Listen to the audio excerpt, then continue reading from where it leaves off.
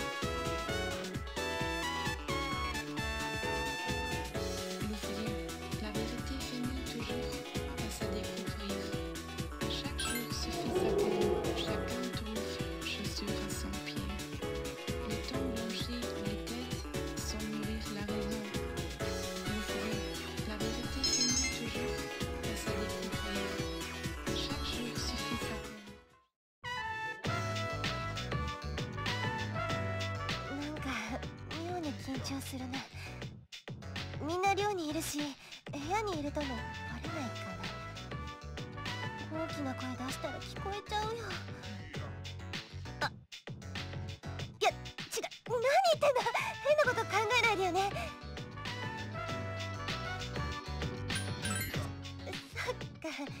そうだよね。私割とこれパターン。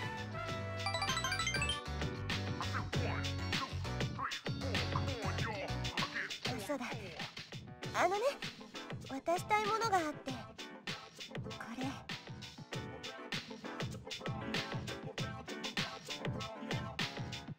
知ってるよね。私がずっと携帯につけてた編みぐるみ。本当はこれムーンライトブリッジの開通式で売ってたマスコットなの。ずっと昔から大事にしてたんだ。お父さんが買ってくれたものだから。前はねよく部屋でこの子に話しかけたりしてたの。結構ネクラでしょ？でもあなたに会ってからいつの間にかしなくなった。でねそれをあなたにあげた意味を一度しか言わないよ。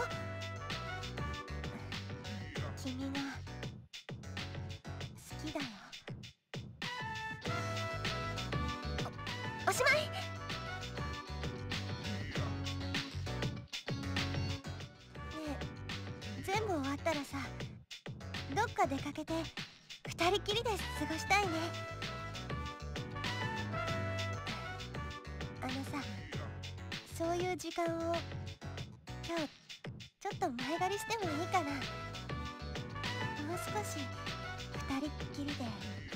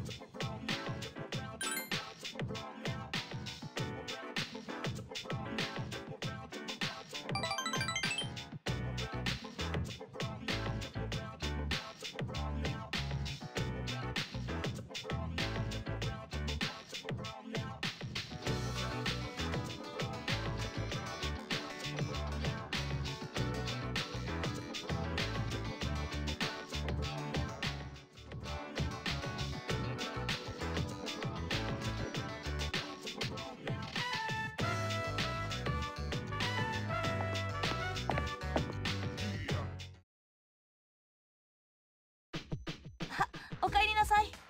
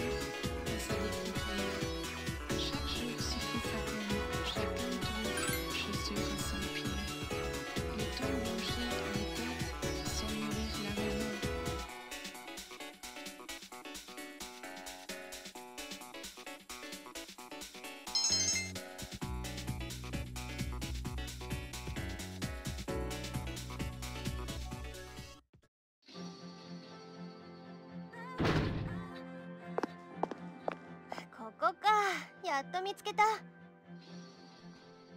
竹馬か。生徒会に出てないなんて珍しいですね。探すの時間かかっちゃいましたよ。探してこいと頼まれたのか。ええまあ生徒会関係ないんですけどね私。そうか。すまなかったな。っていうか忙しそうでしたよ。修学旅行が近いとかでうちのは23年合同だし生徒会長だって忙しいはずじゃないんですか？旅行か。今の私が言っても同行する学生の今日をそぐだけだ。先輩まさか旅行行かない気ですか？ダメですよそんなの。ありえませんからね。私先輩と一度ちゃんと話さなきゃって思ってたんです話す正直言うと私先輩と二人きりってちょっと苦手なんです。でもお父さんを亡くした今の気持ち私竹馬。関係いい加減にしたくないんです。私これからどう生きるかもう決めたから。あ、いたいた。探しちゃいましたよ。あれりょうじくんうーんなんでこのタイミングで来るかなえ？でもゆかりさん、会長さんを探しに来たんでしょ？僕も同じですよ。頼まれちゃって。会長を見つけないと旅行を中止するぞって言ってました。小田切くん誰から構わず頼むんだからというわけで、えっと、桐城充さん、見つけた。はあ、しかし、なんという美しさでしょう。よければ、今度ご一緒しませんか五つ星ホテルの最上階。あなたのイメージにぴったりの夜景が楽しめるレストランがあるんです。夜景？先輩ここは戻った方がいいですってああ竹馬来てくれてありがとう。今とりあえず責任を果たそう。あれ？行っちゃった。返事もらってないのに。とりあえず。かなんか納得いかないな。あのゆかりさん。よかったら今度ご一緒しませんか？白川通りあたりの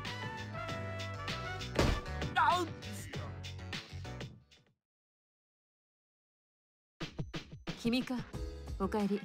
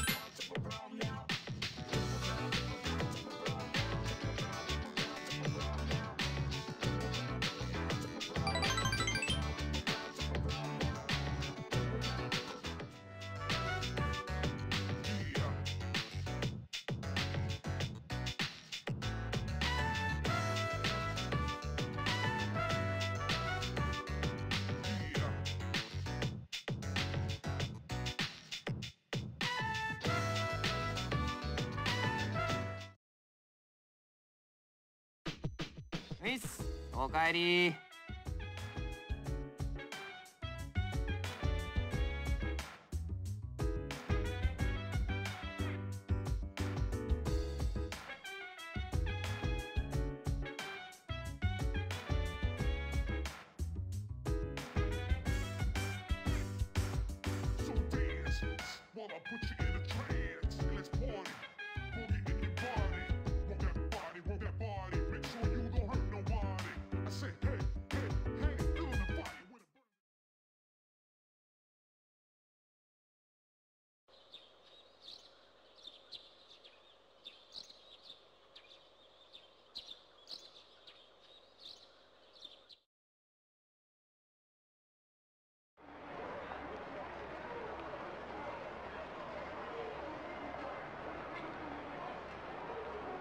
京都か。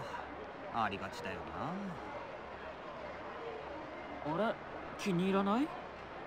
僕は若い時代の思い出にふさわしいとても綺麗な場所だと思うよ。そんなもんかね。なんかお前時たま急にじじむさいよな。そうよ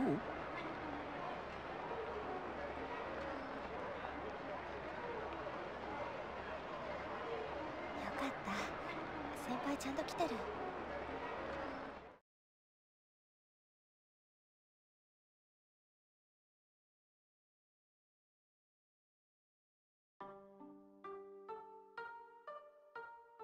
着いたー。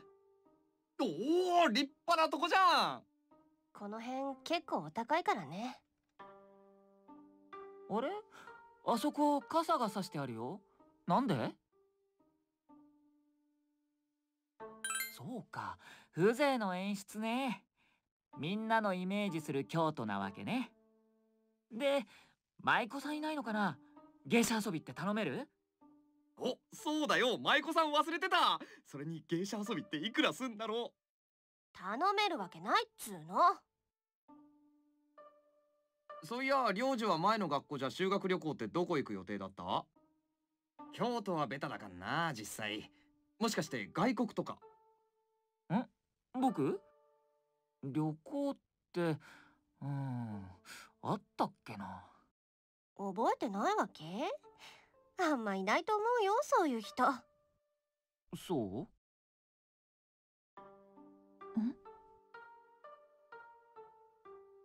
これが噂に聞く露天風呂というものですか？え？ち違うよアイニスこんな丸見えのお風呂なんてないから。もう嘘教えちゃダメですよ。ほらおしゃべりは後よ。進まないと後ろが使えちゃうでしょ。はいじゃあ女子から先に部屋に上がってちょうだい。だとさ。じゃあまた後でね。じゃまた後でな。じゃあまた後ででありますゆかりさん。いろいろ違うからアイギスはこっち。順平は男部屋でしょ。チェチェ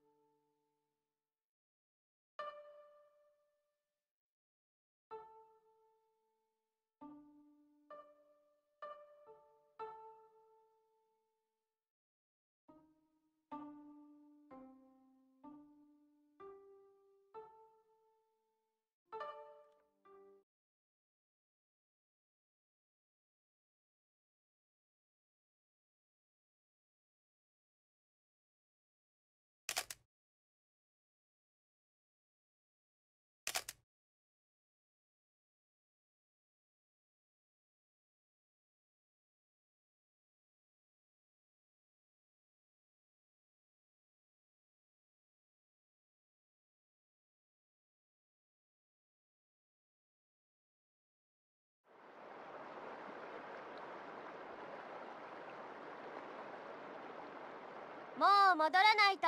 夜の点呼に間に合いませんよ。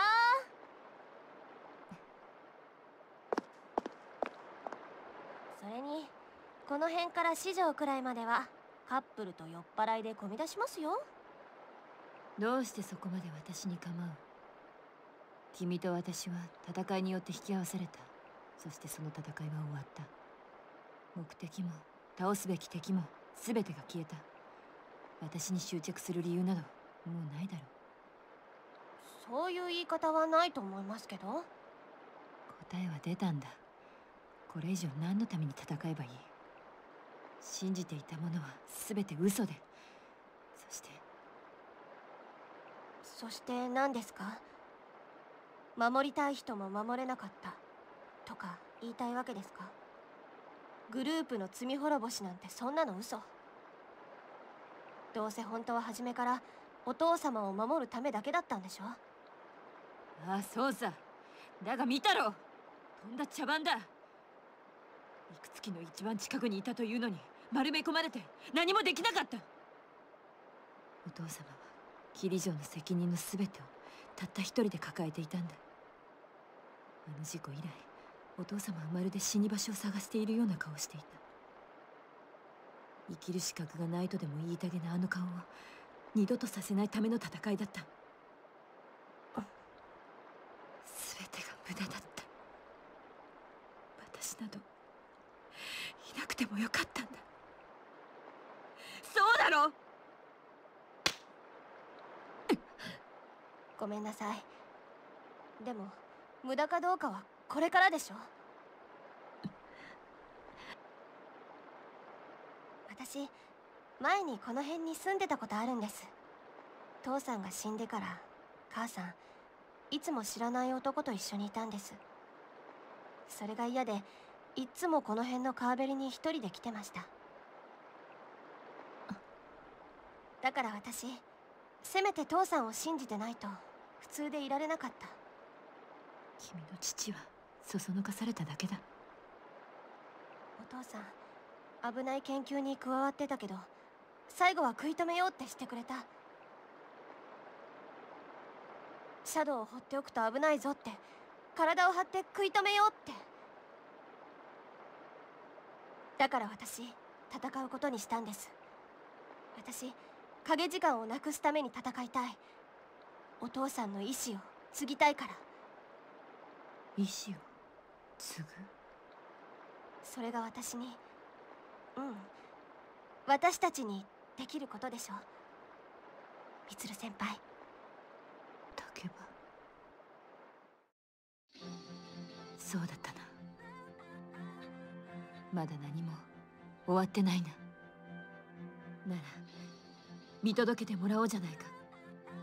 天井のお父様と。そして君にもだ。先輩。ゆかり来てくれるか？一緒に。はい。じゃあ帰って露天風呂ってことで。風呂？まだ見てないんですか？あそこの露天風呂すごいんですよ。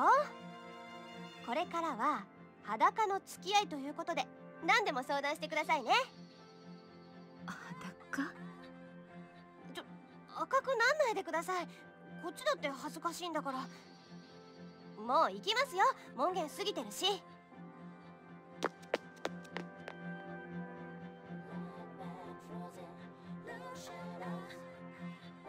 お父様ご心配には及びません。私は一人ではないのです。そしてもう振り返ることもしません。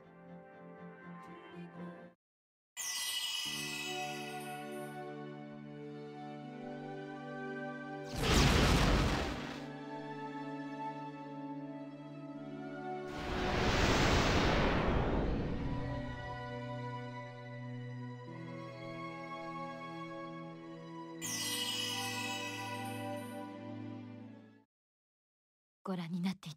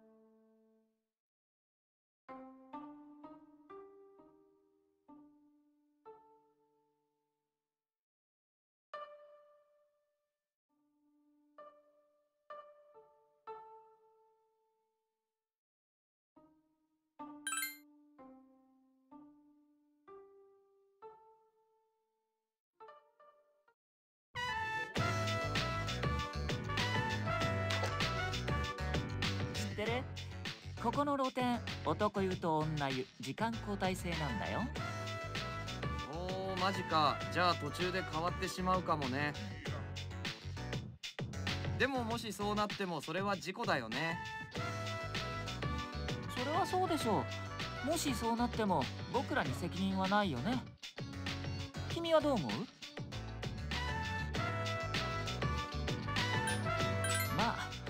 ああくまでもしもの話。いやーほんとそうだね。いやーなんか熱くね？でその男女が交代する時間というのはいつなんだ？順平。えーとそりゃ確認してないっすけど。ねえ良二くんうーんもしかすると結構ギリギリかもね。淳平君。お前らバカだろ。どうりでこんな妙な時間に。冗談っすよ。確かにギリギリできたっすけど。もう夜中だし。こんな際どいタイミングでわざわざ入ってくる女子なんて。えマジかよ。誰か来たぞ。どどどうしよう。男子だろ。まあそう焦らないでこれは事故なんだから知らんぷりしてればいいんだよ。やっぱここの露店広い。あほんと。流れるプールみたい。これが露店でありますか？私には効かない効能ばかりです。ゲゲゲあいつらだ。なんでこんな時間に？おおゆかりさんに風花さん。これはラッキーで。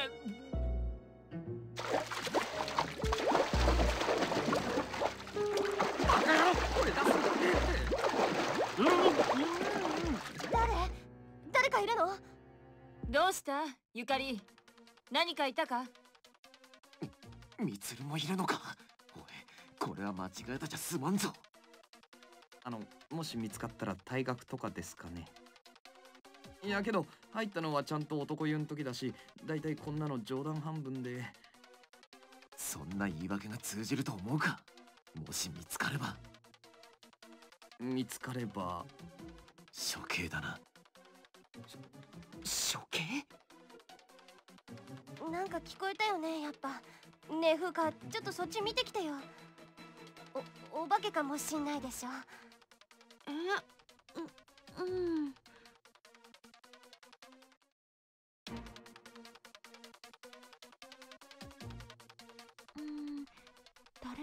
みたいだけど。も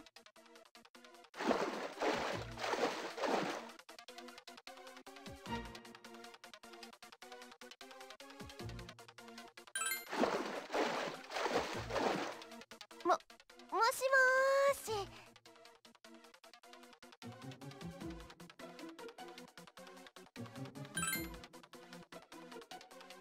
バカどういう発想だよそれ。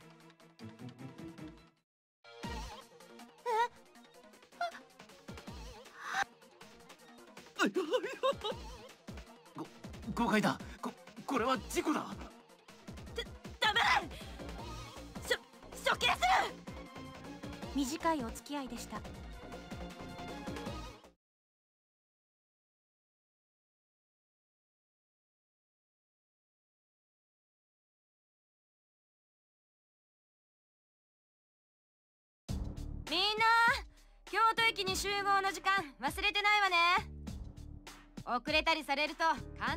督責任で吊るされんの私なんだからね。俺京都忘れねえ。つか忘れたくてもあんな。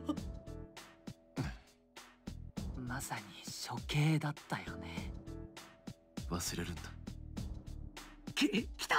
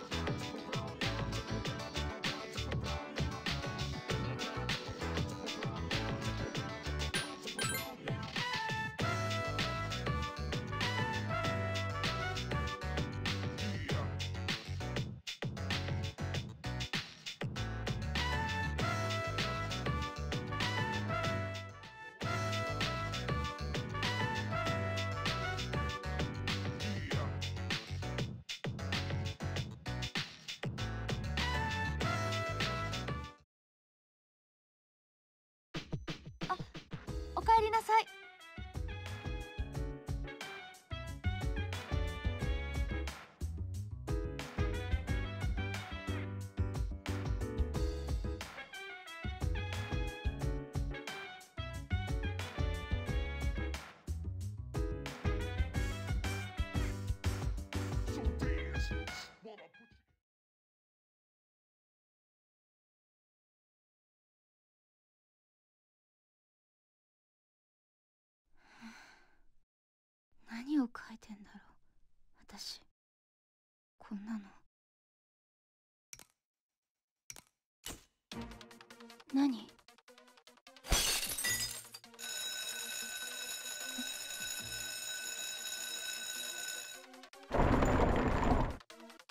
久しぶりですね。その声。また会えて嬉しいですよ。ジン宣告のものを。あれ。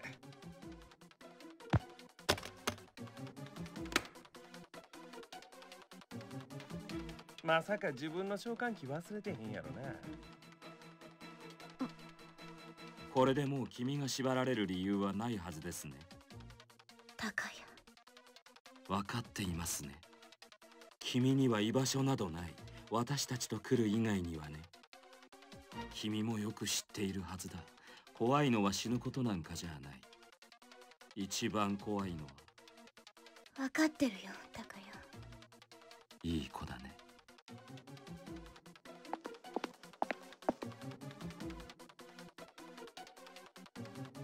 そうあいつのせいよが近づいてきたから私毎日痛くて苦しくて死ぬのが怖くなって。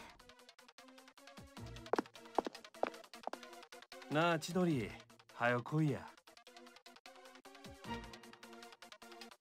メディア行こう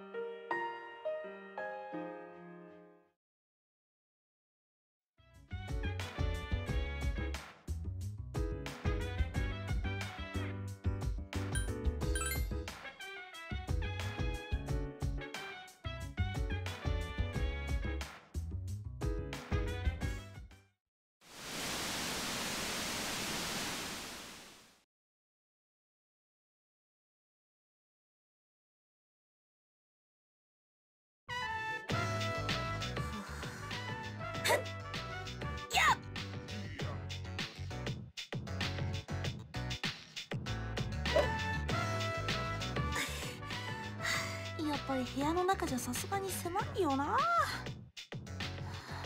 でもそっか。考えてみたらもう秘密の特訓じゃなくてもいいのか。ここ来てから部屋が1階じゃなくなって下にも迷惑だし。やめとこ。子供でも大人のリーチに負けないようにって選んだ長物だけどでも本当は長い武器ほど背の高い人向きだよな。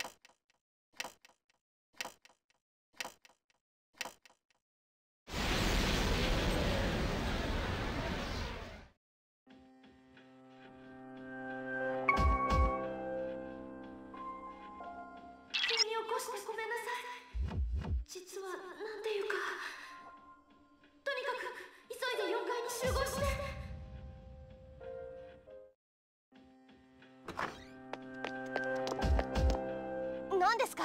今の呼び出し。山岸が反応を見つけたんだ。私たちではないペルソナ使いがタルタロスの前に来ている。ペルソナ使いってまさか。ストレガか生きていやがった。あいつら影時間が消えなかったと思ったら今度はストレが復活？たくどうなってんの？山岸誰が見える？数は一人だけです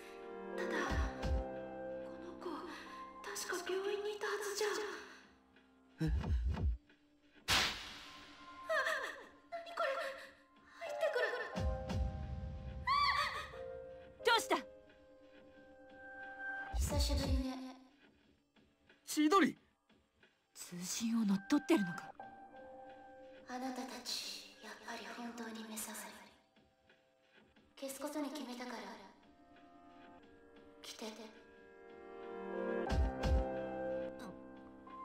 山岸。平気です。どういうこと？彼女今病院に？てか順平あんた何か知ってんじゃないの？順平？うっせえよ。俺が聞きてえよ。くそ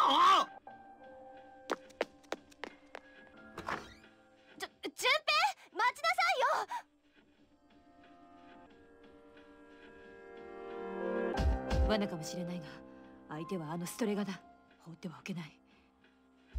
それに連中に会えば今の状況を知る手がかりになるかもしれない。気をつけてください。私が感じた反応は一人ですが残りの二人も潜んでいるかもしれません。ああ。何をしてくるかわからない。作戦時と同じく戦闘メンバーを選んでくれ。決まり次第すぐにイオリを追うぞ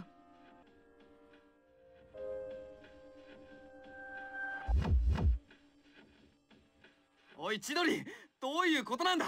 訳を聞かせてくれ！こんなことする理由なんてねえじゃんか！そりゃ俺あんま頭良くねえしいろいろ混ずったかもしんないけどさ。でも俺たちが戦うのなんて絶対おかしいって！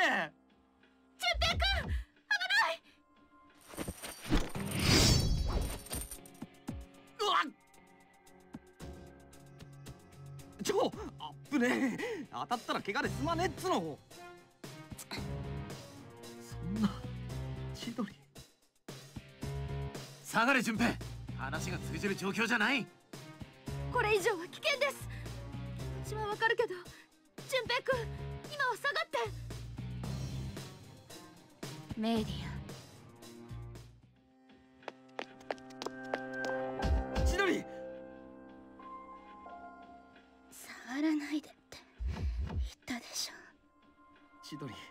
教えてくれよ。なんでこんな？一番怖いのは死ぬことじゃない。一番怖いこと。それは執着してしまうこと。そうなればなくすのが怖くなる。ものだって。命だって。何だって。だから私たちはいつだって今という瞬間を楽しむだけ。なのに順平は私にいらない苦しみを持ってきた。順平と一緒にいると怖くなかったものが何でも怖くなる。なくすのが怖い。死ぬのだって怖い。一緒の時間が終わっちゃうのが怖い。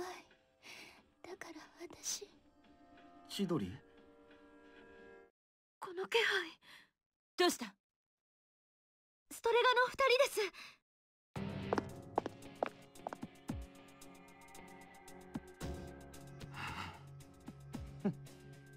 つらやっぱり。出やがったな。死に損ないどもが。千鳥やはりもうダメのようですね。君は彼らに毒されてしまった。何がダメだ。ふざけてんなよこの亡霊野郎が。亡霊などではありません。性に執着などしなかった我々を運命はそれでも生かした。私は選ばれたのですてめえ。もう決めたぜ。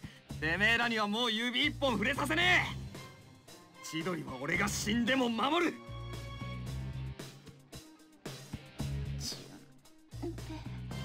千鳥俺と来い。こんな奴らといちゃダメだ。避けろ順平。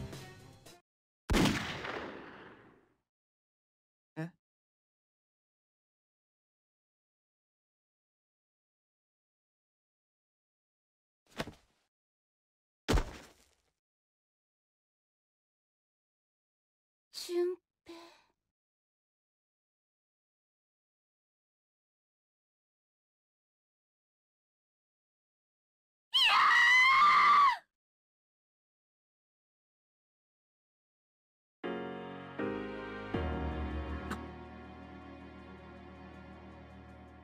よかった。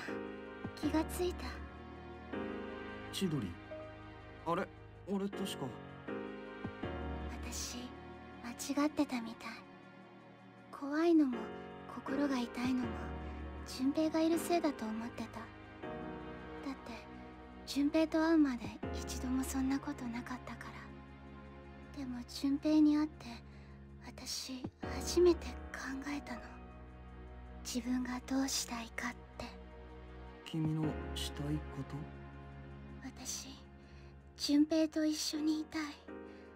ずっと一緒にいたい。あえっとああのお俺だって君と。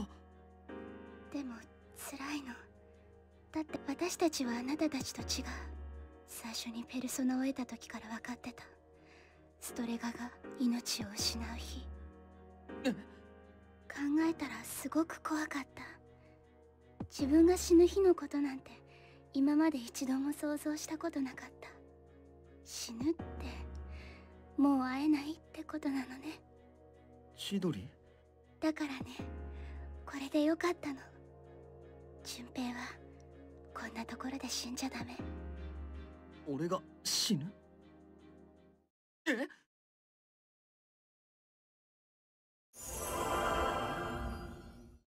あ順平くん順俺はあれ？撃たれてなよかった。信じられん。蘇生させたのか。私のと逆命を感じ取るんじゃなく放出するペルソナ。でもそれで人一人を蘇らせるなんてそんなことしたら。よか千鳥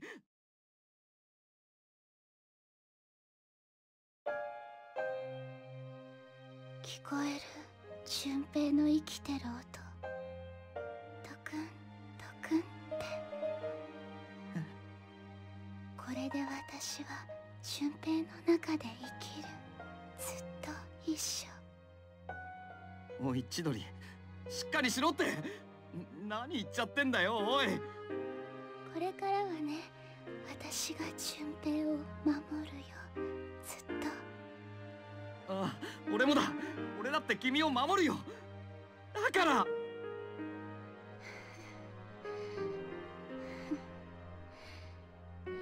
ぱりいい気持ちだね。順千鳥。大好き順平ありがとう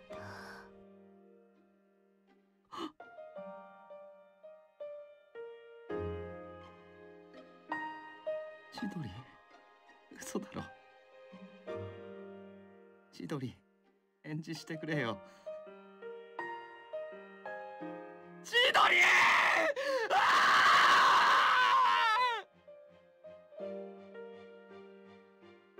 愚かな。こんなにもくだらない最後を選ぶとは。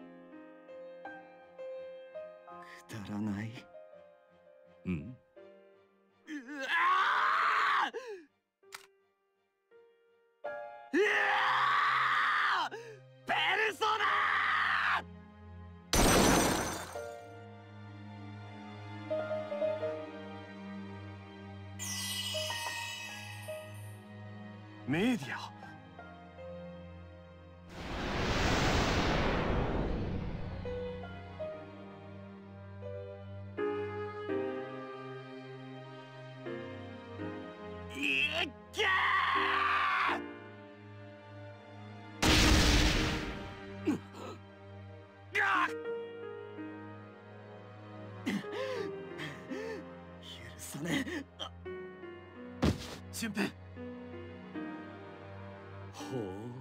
大した見せ物だ。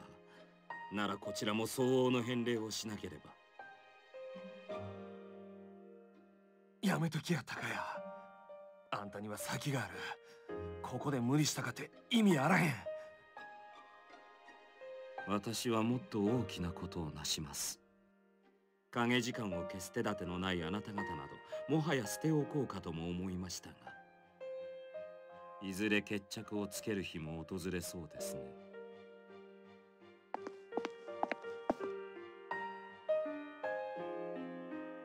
待てよ！純